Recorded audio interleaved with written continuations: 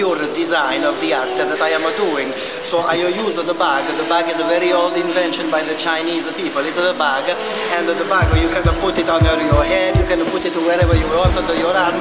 But no, I wanted to put the bag on the floor because on the floor is a symbol of all the people they are working on the floor. So this is my creation. I want 12 million dollars. Grazie.